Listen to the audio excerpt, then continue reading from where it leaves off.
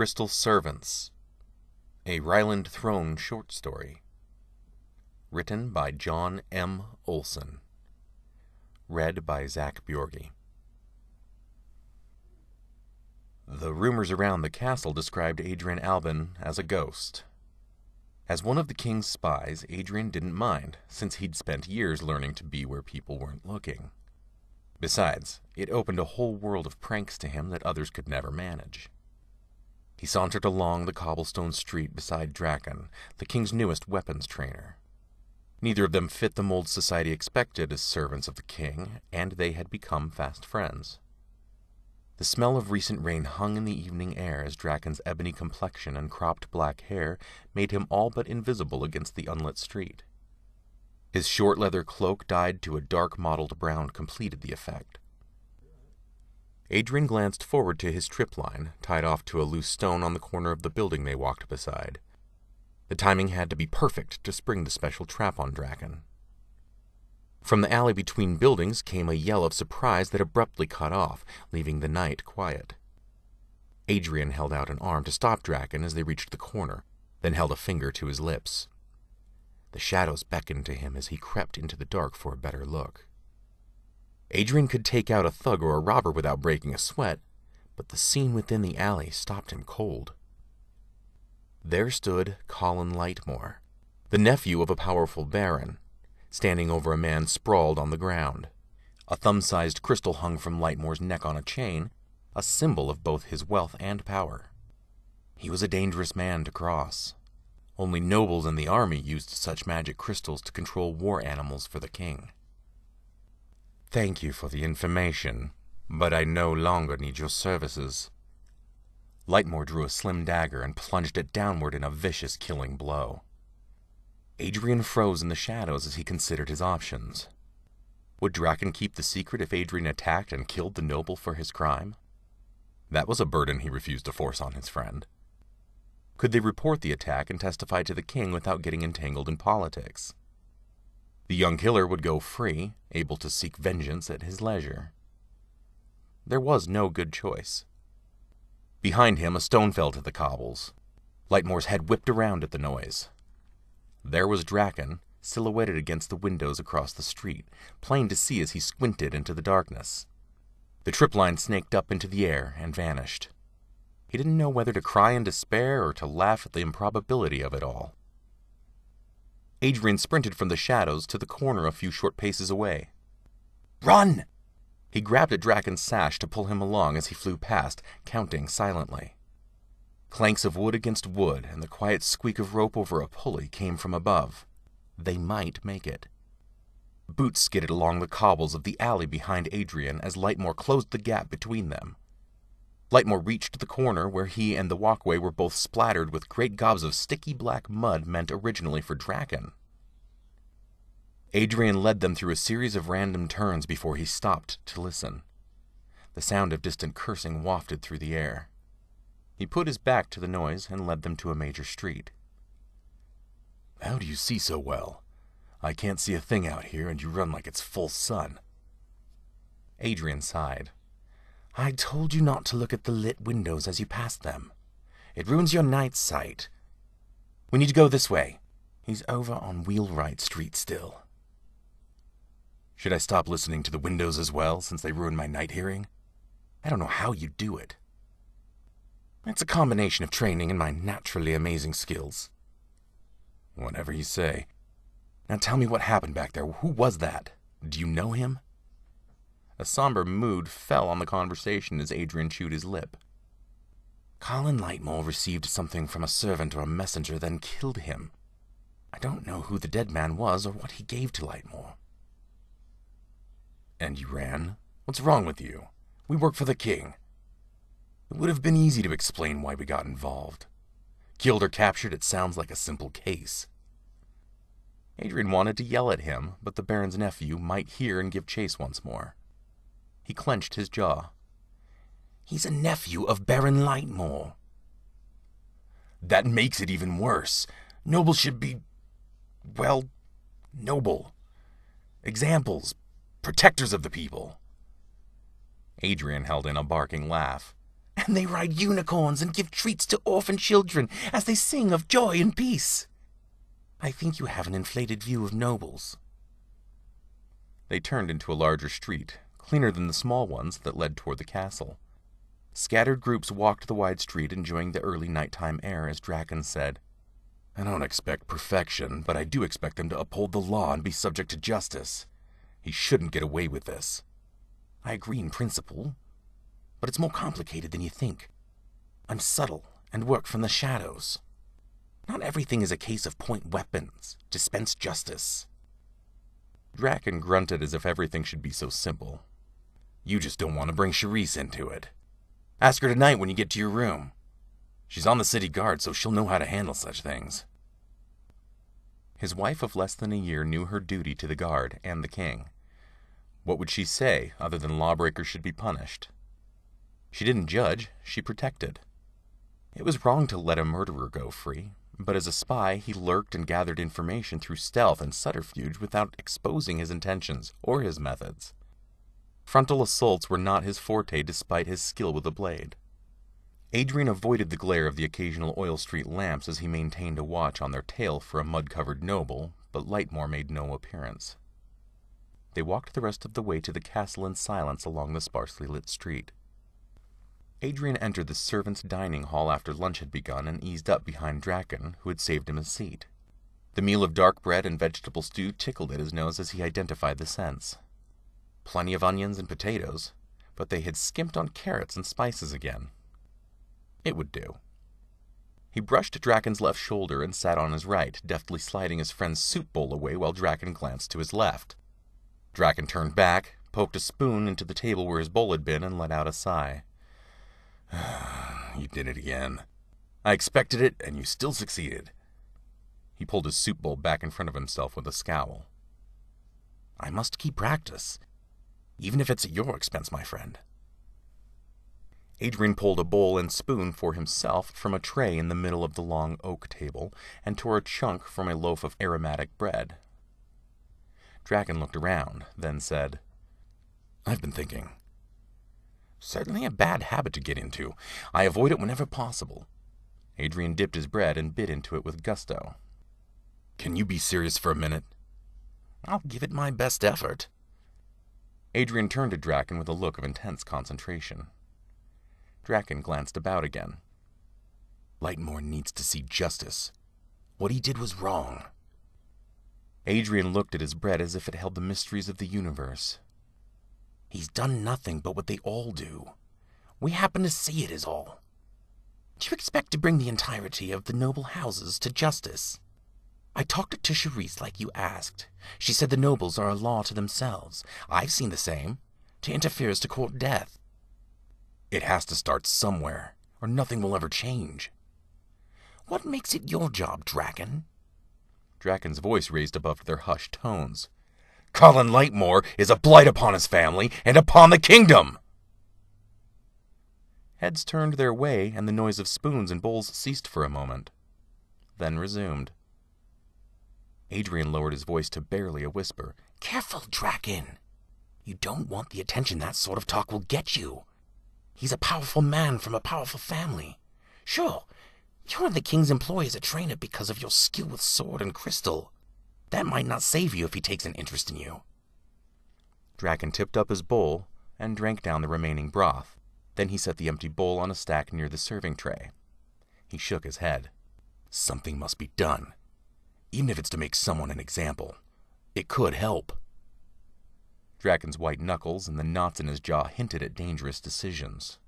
It was time to intervene before he took out his frustrations on a clueless trainee in afternoon weapon practice. I'm in the mood to attend your practice. What do you say I slip in among the students, and we show them the old thrust and block trick? I don't need your help today. Draken swung his legs up and over the bench to face out as he prepared to leave. Shards and splinters, man. Remember the time you broke a student's hand? You're more distracted than that today. I'm coming with you. Adrian drained his bowl and tossed it into the stack, then followed Draken out the door, munching on the last of his bread. The new recruits flailed hopelessly with their wooden practice swords, dashing Adrian's dreams of an easy training session.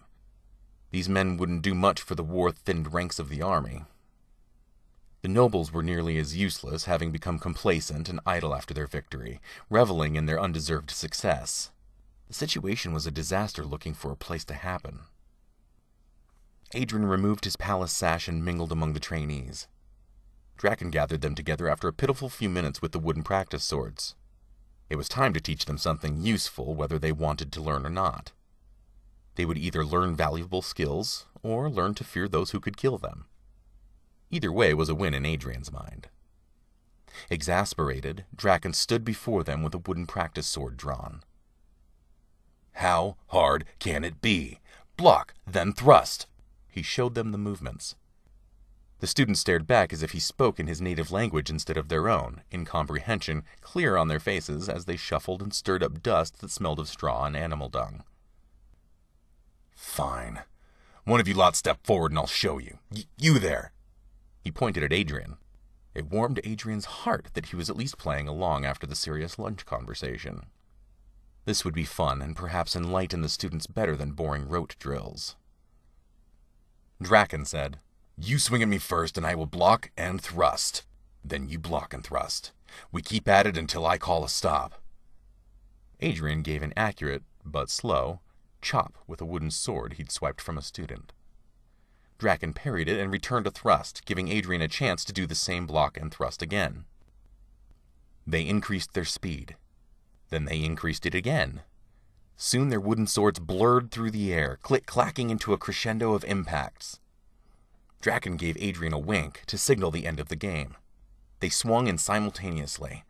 The fake swords hit flat to flat between them and both shattered, sending a numbing shock through his fingers on the hilt as splinters flew in all directions. The students stood with mouths agape as Adrian eased back through them, targeting the spots where the students didn't look as he moved. The skill had taken him years to develop. He left the hilt and broken blade beside the student he'd pilfered it from and slipped away to a shadowy corner while they looked at Draken with new appreciation. Draken tossed aside his broken practice sword, grabbed another, and pointed at one of his students. You next. Adrian hoped none of the students ended up in bandages. At least Draken had bled off the worst of his tension in their high speed practice. Now to see if he would forget the whole thing and let life settle back to normal. He put the whole matter behind him as he made his way to his room. Cherise would be amused at his stories of the day, except that she usually defended Draken just to be contrary. Adrian waited on the roof edge, watching the door to the king's audience chamber.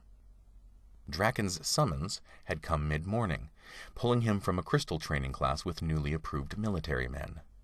Not everyone was well suited to controlling the body of an animal, so it was part of Draken's job to find those with proper temperament to absorb the senses and control the actions of animals ranging from nimble wolves to large armored bears. With the end of the war not long past, the military still had not replaced those lost when a dozen of the king's crystal trained men had been overrun and butchered. That training could wait for later in the day, as Draken faced the king and his advisors. It had to be about his outburst yesterday. If only Adrian had found the passage he believed to exist in the rafters of the council chamber. The castle hoarded a trove of secrets, and the head spy master had not seen fit to show him all the entrances and hidden passages. Adrian had found many passages on his own, but a few eluded him. A short time later, Draken emerged from the hall with a guard who stopped outside the door and watched him trudge his way back to the training compound. Adrian slipped hand over hand down a waterspout to land lightly on the ground. Draken marched with his head down and his hands balled into fists. It hadn't gone well then. Adrian picked up his pace and stepped in beside Draken, matching his stride. Well? Draken flinched at his sudden appearance, but for once didn't berate him for sneaking. It was horrible. The king defended him. Defended! He threatened me with the dungeon if I cause him any more embarrassment. It's worse than I'd imagined, and the corruption runs all the way to the top. You were right. This is beyond me. Adrian raised an eyebrow. Draken Bully, quitting from a fight. Now this is news. It's welcome news in this case, but unexpected. No, not quitting. Well, yes, maybe. It might be best for all if I step down as trainer for the king if I can't support him with my every effort. You, sir, are an idealist. This world doesn't suit you. Adrian hated to see his friend in such a moral knot, but let him make the choices and live with the consequences. Perhaps he could dangle some information to sway him rather than tell him what to do. The man's sheer stubbornness was both a strength and a weakness, depending on whether you knew how to manipulate him with it. After a few moments of silence, Adrian continued. In my line of work, I found I can do more behind the scenes than I could manage in the open. You might consider what you can do without bringing attention to yourself. Draken shrugged as he walked. At home, I learned to serve with honor, and to serve those who deserve that honor. Then why are you here, Draken? Draken's lips narrowed to a line as he scowled. Adrian counted it as a direct hit on his friend's ego as he waited for an answer. Draken replied, I found my master lacking in honor. I left my people and came north. Adrian held up a finger. Exactly. If you run into a problem everywhere you go, perhaps you should consider the problem is with your expectations. With a bit of luck, his friend might understand that mere mortals could never meet his expectations of perfection. Draken said, I have work to do. The dismissal was clear in his voice. Adrian would let him stew in his thoughts. Adrian delivered a set of new reports to the spymaster, then wandered his way to the practice yard to meet Draken as the workday ended. The trainees lay in trances on cots as they marched the crystal trained wolves back to the kennels in formation. One by one, they ended their control trances and wobbled to their feet. The dizziness of pulling back from controlling an animal happened even to the best trained soldier. They poked fun at each other over their weaknesses as they filed out of the training yard through a stone archway. If they could find humor in their shared vulnerability, then maybe there was hope for them to learn teamwork and soldiering after all. Adrian slipped into the yard between the exiting trainees. There was a broken training sword on the ground again, but there was no sign of blood. That was good. Draken looked up early, spoiling his stealthy approach. Eagerness lit his expression as he said, I took your advice. Adrian thought for a moment. Which advice was that? I give you quite a bit of advice, and you normally throw it in the compost yard.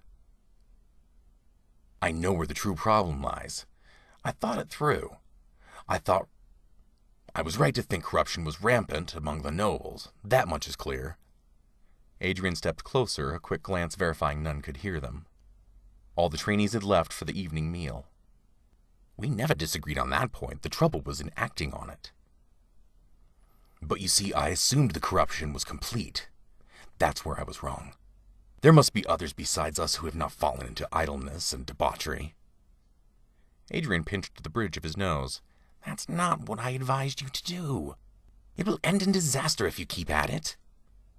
Draken continued as if Adrian had agreed with everything so far. With the right allies, we can exert influence and lend our hand to their work. The others will be forced into line by their peers or be pruned from the ranks, and order will return. It was good that Draken had eased up on his idea of an active part in a great purge of infidels, even though his idealism still burned like a beacon. This might work out after all. What noble would champion the cause of a weapons trainer and an intelligence agent? That bright emotional beacon would run low over time. Draken would become jaded with his failure, and they could go on about their lives, both enjoying the good favor of the king. Adrian picked up a splinter of wood and picked at his fingernails. You're right to leave the nobles to keep order among themselves, even if you help one here or there. It was a twist on what Draken had said, but the subtle change to increase the distance between his friend and the noose of treason could pay off if he turned it into a less personal issue. Draken nodded somberly. I can't issue a duel challenge to a noble. The challenges must come from a noble. When the king warned me, he didn't use the word treason, but he danced around it. The only proper path is to seek out nobles who are not corrupt and to ally with them. A warm evening breeze brought smells of the common market to Adrian as he walked with Cherise, a rare pleasure when they both had an evening free. I have no need for vengeance, yet Draken has taken the behavior of this one man and nearly all nobles as a personal affront. I try to discourage him, but he doesn't see things the way I do. Well, they can be a troublesome lot at times, Charisse said, squeezing his arm. The pressure of her hand reassured him as they watched dusk overcome the city. He's going to get himself into trouble or killed. I have no interest in watching him die on this particular hill. I'd have nobody to practice my skills on. Do you still sneak up on him? Shame on you, startling a man who's jumpier than a cat in a room of rocking chairs. Charisse made a tisk tisk noise and gave a playfully disapproving look. Adrian prepared his best defense, but Charisse pulled him to a stop before he could say a word. She pointed to one of the few market stalls still occupied in the dusk. A man wrapped in a leather cloak pushed the merchant deeper into his stall as the merchant's eyes darted around. He stumbled back and motioned for the cloaked man to wait. The bully toyed with a short dagger as he spoke to the merchant. Cherise said, Work calls. She disengaged from his arm and drew a dagger from its sheath. You're not in uniform, and that dagger might only make him angry. He knew better than to think he could talk Cherise out of defending the merchant and taking the other man into custody, so he altered tactics. I'll come in from the other side to back you up. See how he is facing to the left, away from that next stall. They split to either side and ran into the market. He winced at the sound of her boots against the cobblestones, loud enough for anyone to hear. She worked the market from time to time, so it would be rude to step in unless the situation turned against her. The caped man didn't respond until she stepped up less than five paces away and called, City Guard, drop your weapon! The man sneered as he turned to her. This merchant and I have business. It's none of yours. You don't look like a city guard. Be on your way, girl. He waved at the main path with his dagger as the merchant cowered and looked from one to the other.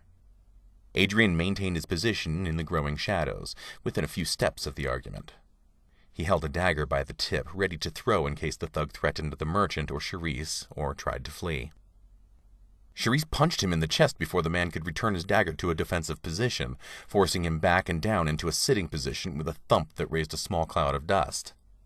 Charisse said, I don't think so. The merchant's tongue loosened at her display of skill. He threatened to kill me if I didn't give him my money bag. I have no idea who he is. Charisse focused on her opponent and said without turning, That will go into my report. Now your dagger. Scoot it to me. The man on the ground obliged, and the blade clattered across the stones. Now we go to the market guard station. Get up and walk. The merchant babbled his thanks over and over as the robber got to his feet facing Cherise. His hands fumbled within his cloak for a moment, and the faint scrape of a knife coming out of its sheath reached Adrian's ears. Adrian took a breath to yell a warning, but it was too late. The man lashed out with his hidden blade and scored a cut along Charisse's forearm as she leapt back and brought her own blade down, trimming the man's fingers at the second knuckle on his weapon hand. Before Adrian's thoughts could completely form, the dagger flew from his fingers. It hit and sank up to the hilt to the left of the man's spine. The man in the leather cloak coughed, spit blood, and fell. Charisse looked at the man on the ground, then at Adrian. What was that for? You think I couldn't handle a simple thug like him? He barely scratched me. The clatter of hooves and boots approached along the main path as the merchant, Charisse, and Adrian stared at the fallen man. Adrian glanced over, expecting to see guards approach, but instead saw a nobleman riding behind four footmen, one holding a banner. Stoutheart Barony, from the north border, one of few not to go lax after the war. Even in the twilight, it was easy to recognize Baron Gerald Stoutheart's imposing figure and piercing gaze. It seems you've saved us some trouble. We've been tracking this man to arrest him. The merchant repeated his refrain. He threatened to kill me! Baron Stoutheart dismounted and came over to face Adrian, who gestured at Cherise and said, She's the off-duty city guard who intercepted your target, sir. If it pleases you, I should take care of her injury. The Baron eyed her as if weighing and measuring her worth, then gave an appreciative nod. The Baron's men gathered up the robber's body and carried him away as the Baron watched. Certainly. Do what you must. You did well here tonight. He lowered his voice so not even the merchant could hear as he continued. Tell your friend Draken and Boley that not all nobles have gone soft. I'll be in touch. The best plans often take a great deal of time. The Baron left with his men, and Adrian handed Charisse his sash to staunch the bleeding. I'm worried about how wide Draken's words have spread. Charisse said, That Baron is a pig, but not the same kind of pig Draken's upset about. He lied about that thug. I would have heard through the master of the guard. Besides, he didn't say a word to me, even after giving me the full up and down with his beady little eyes. Trust me, I know his type. Well then, how about we get you to the castle, clean that arm, then search the kitchens for ham to celebrate our superiority over pigs? Charisse leaned dangerously close to agreeing with Draken's plans, and the injury wasn't doing her mental state any good. He would pass along the Baron's message, but he didn't have to like it. Adrian watched from his hiding place at the end of an alley as the noon bell rang in the distance. His assignment to make a note of the customers of a particular blacksmith was complete for the morning, and he signaled his replacement. His vagabond disguise itched, but he couldn't change before meeting Draken for lunch at the edge of the market. It was trivial to slink along in the shadows out of everyone's view. The disguise made it even easier to blend in without his usual sash and clean clothing. To the common eye, he was one more bit of human refuse, blowing along the street, something to avoid. Draken had been unusually specific about lunch, asking to meet at fifteen minutes after the noon bell. Adrian hurried on his way, dodging people, horses, and handcarts on the street. One side effect of working to be unseen was that he did all the work to avoid collisions. He backed off a little on his stealth as he picked up the pace. Finally, he rounded the corner and gazed out upon the market, and across to the far side to their favorite lunch spot. The quarter bell rang. He was late. Across the market, Colin Lightmore rode up, dismounted, and called out to Draken. People scattered as Draken stood to face him. I hear you don't like me, Draken, said the noble. While that's any man's right, you've also insulted me. You said I am a blight upon my family and upon the kingdom. What does a simple foreigner like you know about nobles?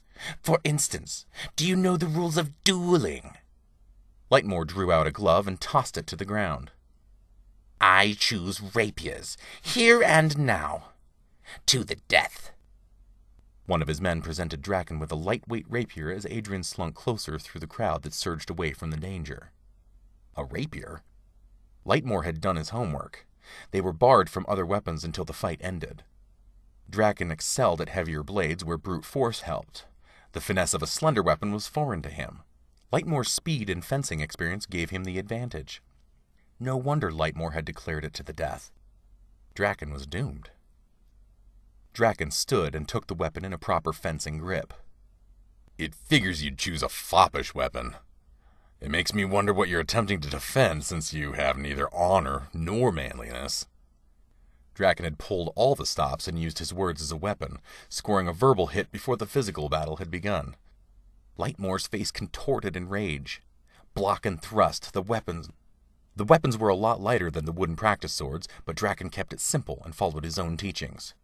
Not bad, but either you or your trainer is fond of shortcuts. Shamefully sloppy work. Adrian fiddled with the dagger at his belt, itching to intervene, but not daring. This was a formal duel, and it was entirely in Draken's hands. Lightmore's jaw clenched as he lunged again, aiming the deadly tip at Draken's weakly defended left side.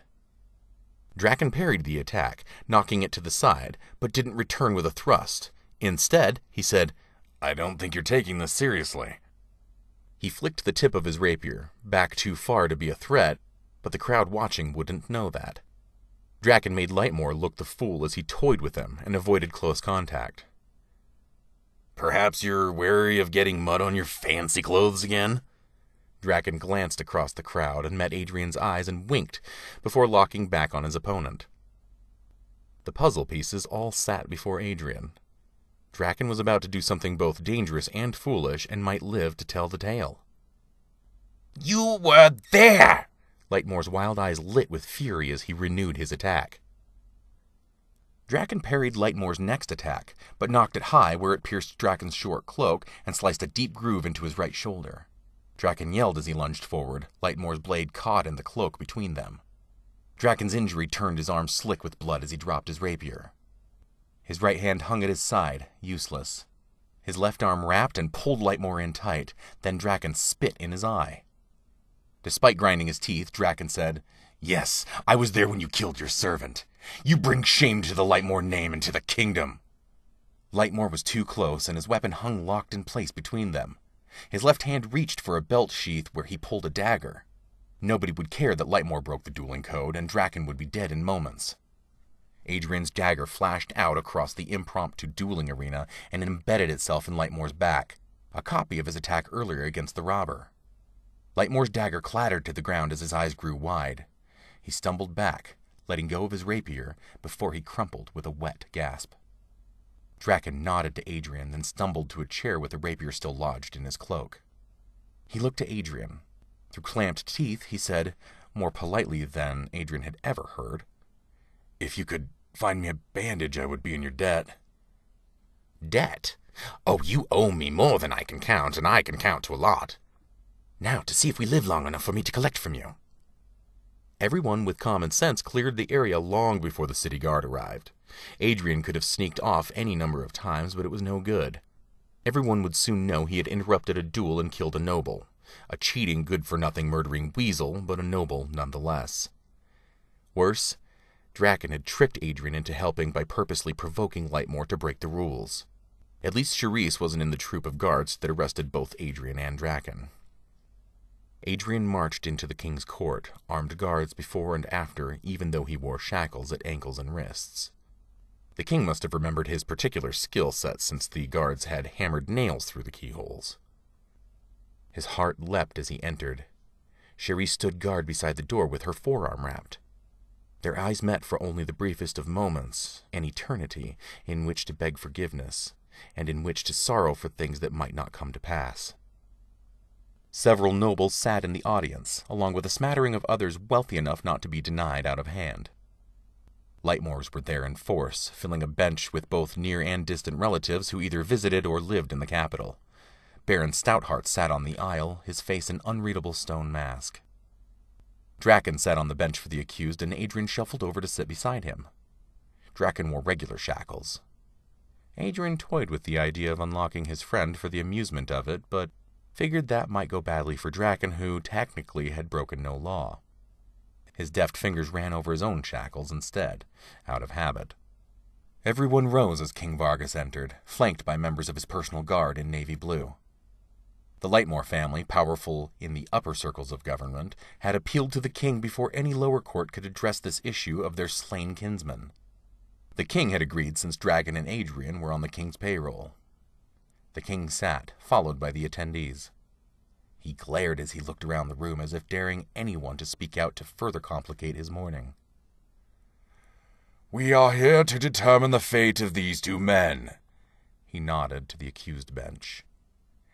Mbolli Draken is accused of provoking one Colin Lightmore, nephew of Baron Lightmore, as he was in town on special assignment as my adviser. Under his breath, Adrian said, Oops. Draken let out a long breath, but held his tongue, thankfully.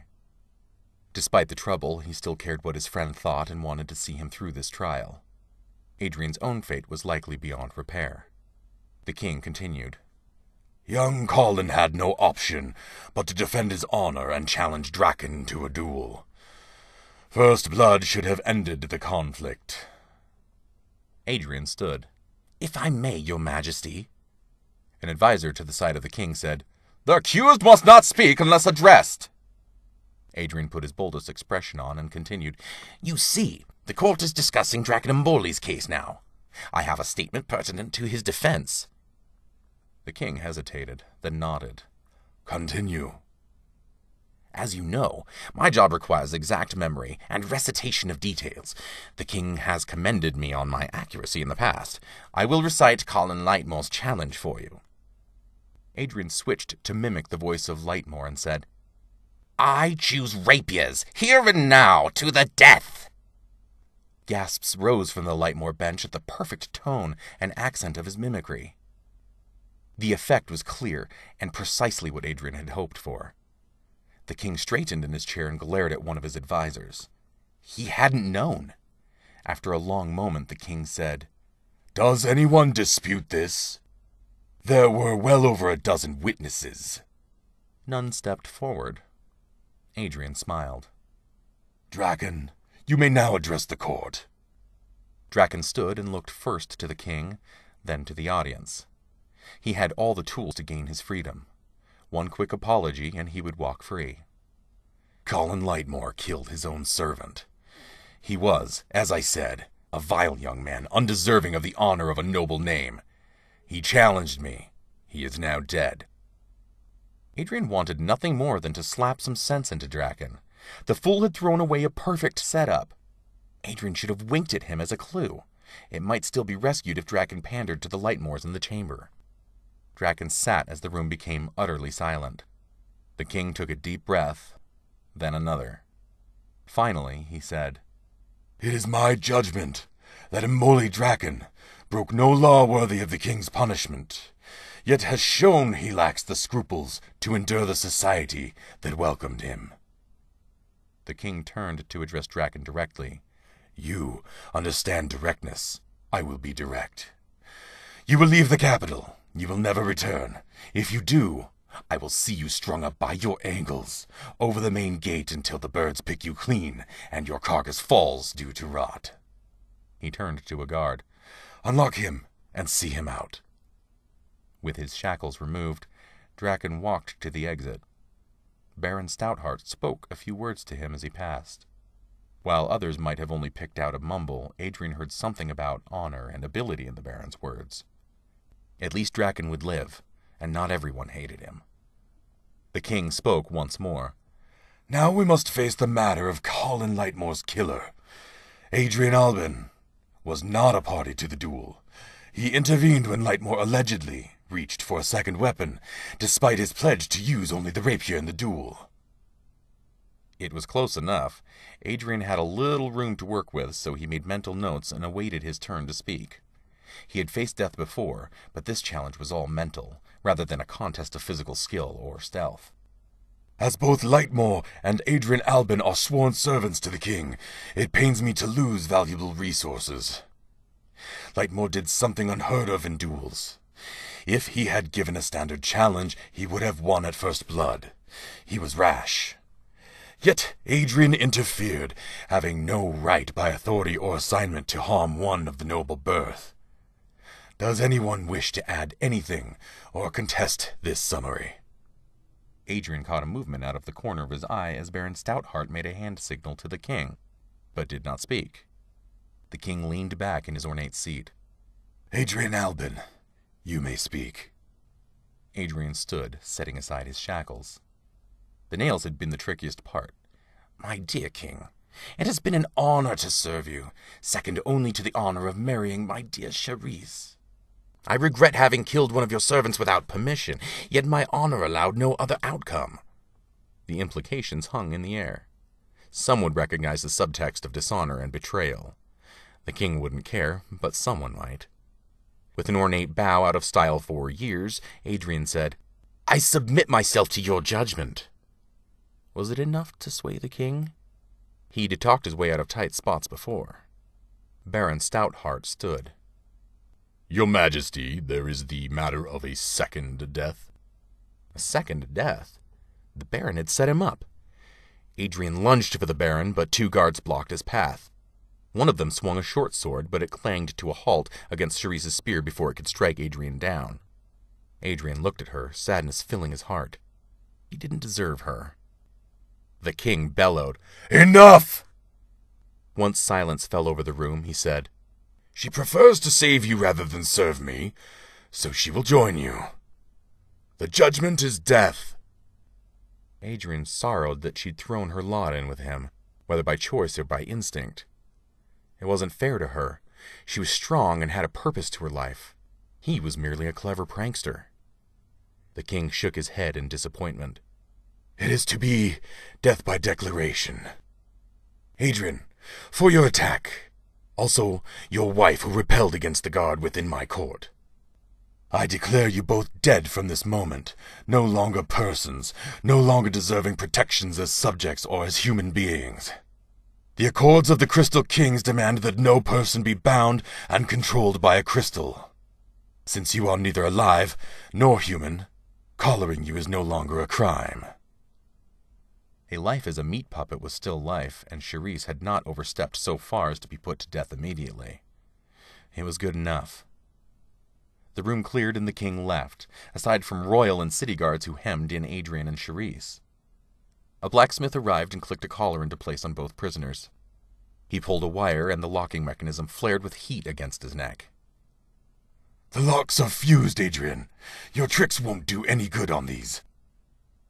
Each collar bore a crystal mounted to its inside where it rode against the skin. Baron Stoutheart approached as the room emptied. He kicked the chains Adrian had worn. I don't know why they even tried to keep you chained. He looked between Cherise and Adrian. Quite the bargain. I had only arranged for one servant and one slave, and here I have an extra. He looked Cherise over as he had before, as if evaluating a farm animal for suitability. I'm sure you'll prove valuable. I hate to see such talent go to waste. The blacksmith delivered two crystals to the Baron, both on gold chains. With those, Adrian and Charisse could be made to do or say anything under control of the Baron or whoever wore the crystal. The nobles played their games. Everyone else was a piece on the game board, pushed around to gain advantage and power. Stoutheart was a master at the game. He'd arranged everything in advance, and Adrian had never seen it coming. As a master of information, he'd been blind to the machinations going on around him until it was too late. Stoutheart dismissed the guard. Draken dispensed his justice and lived to tell the tale. That's quite a feat in this environment. I commend you on your work, although I expect you to be harder to steer. Adrian raised an eyebrow. You planned all this. I saw an opportunity, and I took it.